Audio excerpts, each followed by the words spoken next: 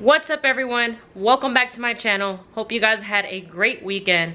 As you all can see from the title, I'm going to be talking about a new car that I'm going to be hopefully picking up tomorrow. So let's get started with this video so I can go into more details.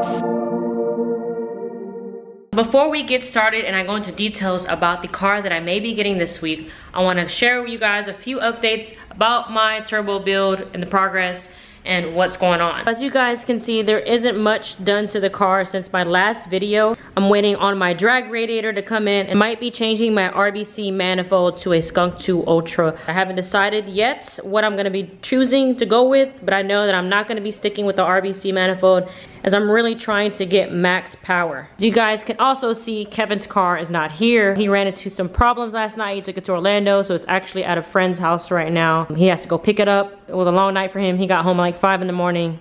Super crazy. I was hanging out with family yesterday while he was um, in Orlando. So his car is not here. It's actually really nice to have the whole entire garage space to myself as we don't get to have that often. We have four cars. Kevin also stole his seat back. That bride seat was actually his. The Kirkey seat over there is mine. Once I get the roll cage installed, I'm gonna be putting two Kirkey seats in the car. It's been like a full two months now that I haven't driven this car.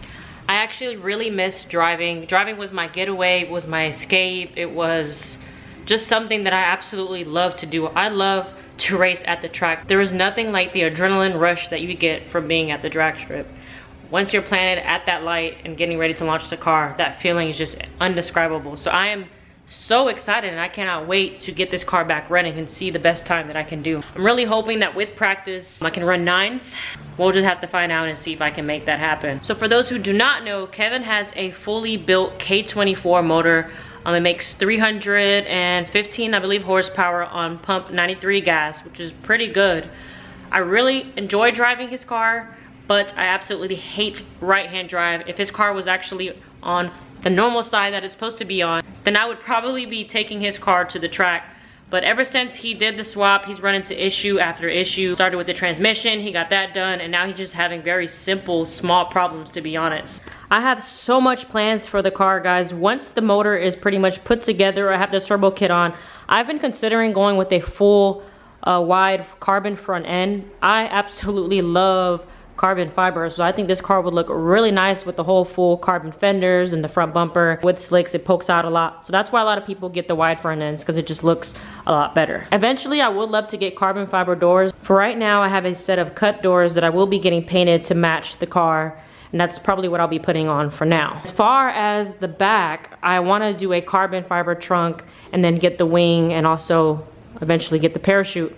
I'm thinking when I go ahead and get the roll cage, I'll just go ahead and get the full setup so I never have to worry about it. And as I get faster, the car will be legal for the track. Now, as far as wheels, I haven't really decided on what street wheels I want. I actually had Volk TE37s, as you guys can see on my previous video when I announced the new wheels setup for this car. Those wheels I gave to Kevin as they look a lot better on his car and they were just a little bit too aggressive for my car. So for the track, I have a set of Lenzos. These Lenzos are a classic drag wheel. I want to get a set of matching skinnies to go with these. So this is gonna be my drag setup, but I still have not decided on what to get for the street since I gave Kevin my street wheels. So that's enough about this car. I just wanted to give you guys a quick little update as to what's going on and what my future plan is and just talk a little bit more about the car because I haven't posted much in over a week. So I'm hoping that my parts come in this week. I'm going to need the radiator and the manifold in order to get the piping done on the car. I'm gonna be doing as much as I can with the car myself, but certain things like fab work, I'm not a welder, so I cannot do the piping and all of that. I will do a whole nother video on the fabrication process of the car. So guys, let's get started with the real reason why you all clicked on this video is to find out what my next car is gonna be. So I wanna go back a little bit and explain to you guys what I currently drive. Many people have asked, what is my daily? And I kind of avoid the question because it's not a cool car, it's not a fast car. So to give you guys a little bit of background on why I even have this car as a daily is because When my S2000 caught on fire, Kevin had just raffled off his Mugen and we were literally left with nothing but the Integra. The Integra was literally the only car that we had at the moment. I needed something extremely fast. I needed something to get me to work because the Integra obviously is a car that you do not want to drive every day. So I had to make a quick decision and at the time I just needed something to get to and from work. We ended up getting a rental car just to go take a look at another car because we literally had nothing but the Integra. So it took us about four cars to actually look and so I found the one that I have. It is a 2006 Honda Civic EX. Here is my daily that I have had for the past year. This car has been absolutely amazing to me. It's given me no issues at all. I am simply just getting rid of it because this is not my dream car or the car that I had planned to ever buy. This car was just a quick car that I had to purchase as we had nothing at the time. It's been absolutely amazing to me. All I've really done is tinted the windows, add a little music, but that's pretty much it. I kept the car stock because this was supposed to be just a car that I was gonna use to get around and then sell, which is exactly what I'm doing now, a year later. But within this year, I was able to save up for the car I actually want and I cannot wait to show you guys in the next video. A few months after purchasing that car is when I got the EM1 for a really great deal. At the time the insurance had gave me a really good check and I could have purchased another S2000 but at the time the S2000 was my daily, it was my show car, it was everything. It was the only car that I had to my name and I did not want to go back to driving the same car that I'm putting all the money into every single day. So I had enough money to purchase two vehicles. I purchased the K-Swap EM1 and I purchased my daily with the amount of money that I got back from the insurance for my S2000.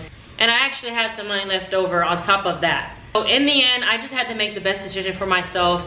I purchased a daily, I purchased a project car that was already K-Series. The previous owner of this car is actually a really close friend of ours. So we knew pretty much everything that was done to the car. And we knew that the car was previously in really great hands. I have transformed this car from a stock Civic Si to something in my liking. I added a lot of carbon pieces. I added the carbon hood, added a carbon lip. I completely gutted out the interior, added my seat. I've got the interior painted and all of that stuff. To be honest, when I purchased this car, my plans were to never build a drag car. I just wanted something that was nice and fun and that I could take on the street and have fun with and I could take to car shows and things of that matter. The track thing kind of came along. I was like, you know what? Let me take this car to track and see what it can do.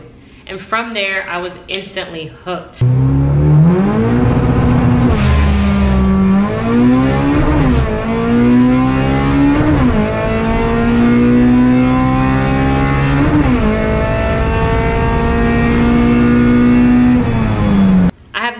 experienced any of the adrenaline that you get from driving at the drag strip.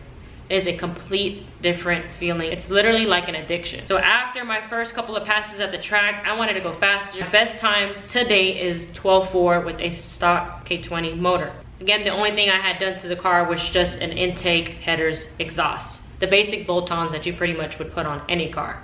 All right, so I kind of went off topic here, but let's get back into my new car that I will hopefully be bringing home on Tuesday. Tomorrow I am driving down south to go take a look at it, and then hopefully I am gonna be driving back down with it on Tuesday. This decision was actually pretty tough. I knew that I wanted my next car to be a four-door car. I am a family person. I'm always hanging out with my mother and my grandmother. The car had to be family friendly and I wanted it to be fast, I wanted it to be fun, and I just wanted it to be something that I would be excited to wake up every day and drive. So unfortunately, you guys will not find out what the car is on this video, but I want you guys to take a guess below on what my next car is going to be. I am so excited because I've been driving this boring Civic every single day for the past year, it's actually been one full year that I've owned the car, so I'm ready to just get rid of it. It'd be sad to let her go, but the time has come. It is time for me to drive the car that I have always wanted. I want you guys to guess, comment below, let me know what you think my next car is going to be